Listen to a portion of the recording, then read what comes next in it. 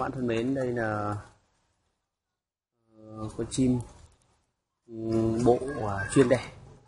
Thì Hôm nay à, mình sẽ à, thực hiện cái việc nhặt trứng ở trong cái chuồng chim của cu đất. Đây là con mẹ cu chim cu gáy Bắc Bộ nguyên bản nguyên gốc.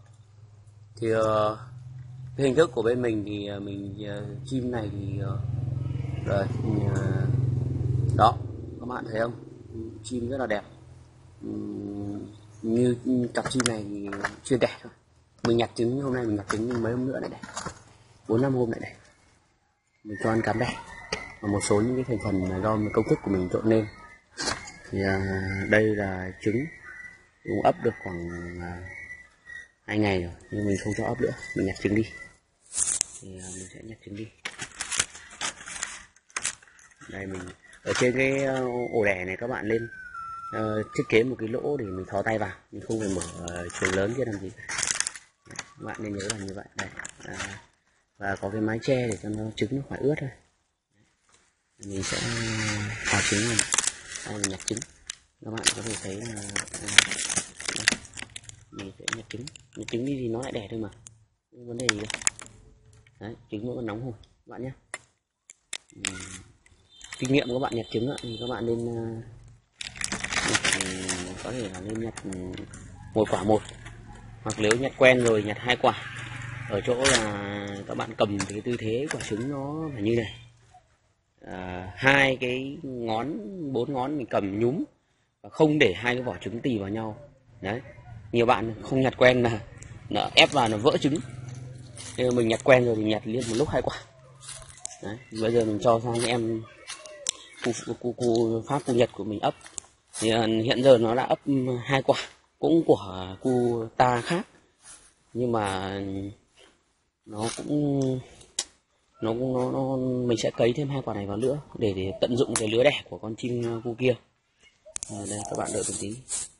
Thì ờ, đây là cái ừ, cái công việc mà mình ờ, sẽ theo dõi và đánh dấu trứng thì ờ, đây là cái máy ờ, để mình ờ, soi trứng thì như đây thì nó các bạn có thể ấp khoảng 4 ngày thì các bạn có thể là đưa vào một cái bóng điện hoặc là cái độ sáng như này. Có một cái đốt đây mình chỉ đấy, đấy nó có đốm đấy. Thì mình nhìn thấy phôi nộn hay không có tia máu hay không. Và đây là mình đánh dấu trứng mình đánh dấu trứng để mình vào sổ, mình tiện theo dõi. Ờ, ở đây thì mình sẽ ờ, luồn trứng này vào ờ, cho em này ấp tiếp. Thì cái quả mà đang ấp hai quả đang ấp trước này thì nó sẽ nở trước. Và lúc nào nó nở con, nó múm múm mình mang ra mình bón. Sau đó là bón xong một thời gian thì là cho nuôi hai con còn lại, hoặc là nuôi cả bốn con mình sẽ bón hỗ trợ đấy là cái công nghệ đúc ra một con chim non của mình là như vậy. Các bạn, mình sẽ chia sẻ cái việc này cho các bạn. Nhưng để làm một cái việc này cả một cái quá trình rất là rất là, đó. mình luồn khéo vào Đầu chim này nó cũng rất là thuần các bạn tự nó đào trứng. Đó.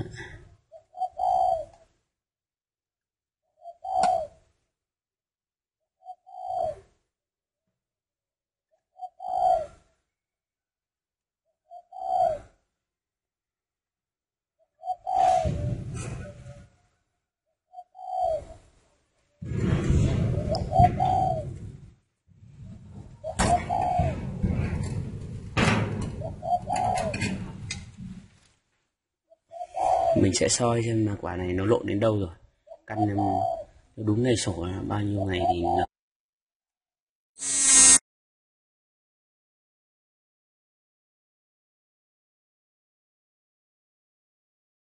thì uh, mình uh, hướng dẫn các bạn uh, cách soi trứng như này. Các bạn để vào vào đây. Thì, uh, nếu như mà đây thì mắt mắt thường nhìn rõ hơn các bạn ạ thường nhìn rõ mình tắt bỏ cái điện đi.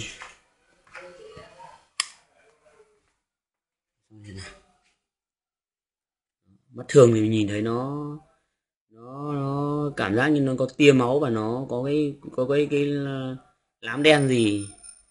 Nó có cái lám đen gì ở ở quả trứng. Đấy, thì có nghĩa là quả trứng này đang được lộn phôi và đang được u. Đấy, mình nhìn thấy tia máu rồi. Mình sẽ nhìn đây đây mình đưa sát rồi. Các bạn nhìn thấy đường đường đường bản đồ chưa? Đấy tiêm máu này làm nào cho các bạn nhìn rõ hơn nhỉ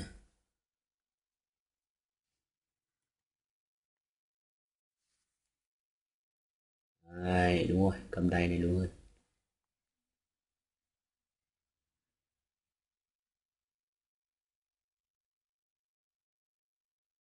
Đó. Bạn rõ đường gân chưa? Đường gân mạch máu chưa? Các bạn xoay, xoay quả trứng nữa. Các bạn nhìn thấy quả trứng này gần như là cơ hội nở rất là cao. Mình có thể ra đây mình quay lại một uh, cái gì đấy cho nó các bạn dễ nhìn hơn. Đèn này.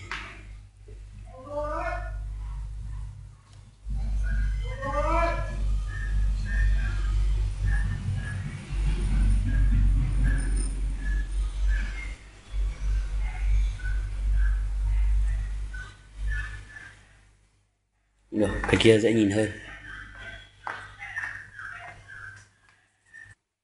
Mình sẽ ờ, đặt trứng vào. Khi bạn đưa tay vào các bạn nên nắm vào không là con chim nó sẽ chỗ vào quả trứng nhá. Đấy, ví dụ như tư thế này mình đưa vào không cẩn thận là chim nó sẽ chỗ vào quả trứng Đó, mình đẩy đều đều vào. Và đặc biệt là tránh cái việc dễ vỡ trứng. Mỗi lần mình ấy, mình có thể là mình vớt ve để cho chim nó có cái độ quen thuộc đi.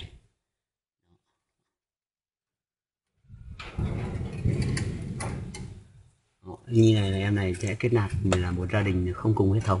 Sẽ ra bốn con chim cu lâu đất miền bắc. Em này chỉ có nuôi, mình sẽ hỗ trợ chúng.